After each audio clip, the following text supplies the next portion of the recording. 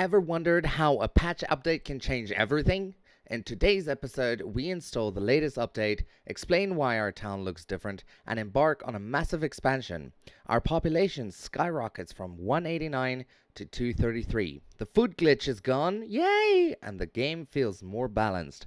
Ready to see the transformation? Let's dive in.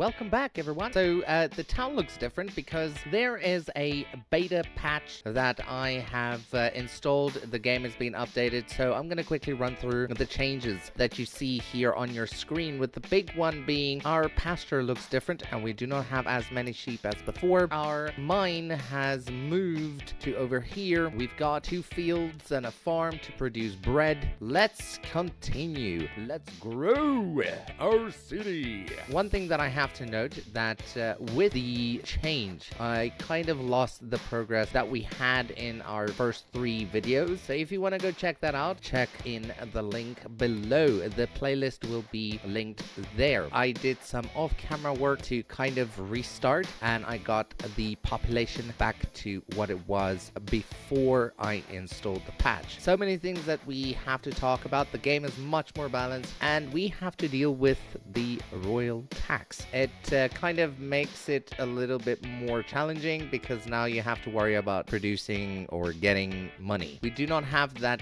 glitch where our food and fuel is running out. We've got plenty of that. I've got roof tiles because here I had a mine. Now I don't have a mine anymore. It ran dry. So now I'm just transporting last pieces of clay so that it can be turned into roof tiles and then that can be transported so that we can sell it and make money. We have moved all of our clay out of the mine and our treasury demolish. Let's get rid of this thing. Then we have a ton of roof tiles that we need to get rid of. Let's do that.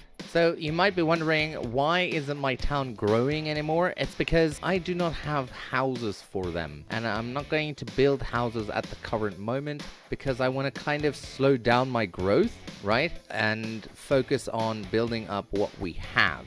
I think that is a good strategy. Don't expand too fast. But with that being said, I am going to purchase a different piece of land because ultimately the goal of this series is to conquer the entire map. That is what we need to do and that is what I'm going to strive for when doing this series. So my town looks a little bit different, I have to say. What do you guys think? Does it look better than before? We've got someone to replant the trees that we've been cutting down because we've been we've, we cut down a big area of trees. Then also our charcoal kiln. This is much more effective. So you get a woodcutter, they will get your firewood, but don't make them set up a stall. They will be sending their firewood to the charcoal kiln. They will make charcoal and then before I did take this off, like I didn't allow them to sell at the market. I was kind of hoping to let them store it here and then the storehouse can sell on the marketplace because they've got all the goods, right? It's easier for them. Same with my food, but I kind of allowed others to do that as well because I got worried. This is going to yield some flour and that flour is going to be turned into bread. Maybe we should build more hitching posts and upgrade them into stables. Wow, a lot, a ton of bread. Let's build more houses.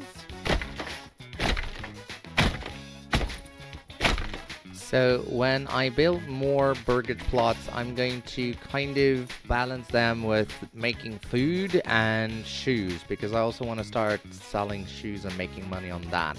So I'm importing barley to create my ale, the malt, and then take the malt and create ale.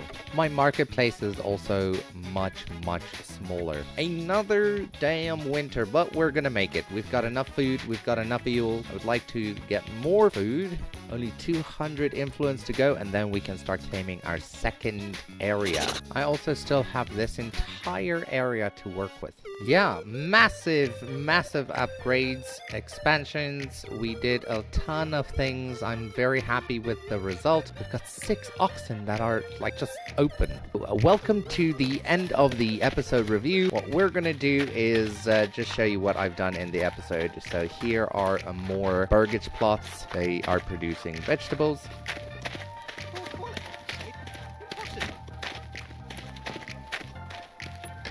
Massive upgrades. Town looks so beautiful right now. So yeah, I guess uh, that's gonna be it for today's video. I hope that you enjoy my content. If you do, please remember to hit that like button, subscribe to the channel, and hit the notification bell so that you don't miss any of my future uploads. It really does help me a lot. Then also, please uh, check out our membership page by clicking the join button below. If there is no join button, you can find both links to YouTube membership and Patreon membership in the description below. If you want to see where we started with this entire series, click in the video that you see up here and it will take you to that playlist. Alternatively, you can find the link to the playlist in the description below because there are some funny things that we learned along the way. That being said, I'm going to give my current supporters the credit that they deserve by putting their names in the credit roll. So if you want your name in the credit roll, be sure to become a member. Credit roll in three, two, one, go!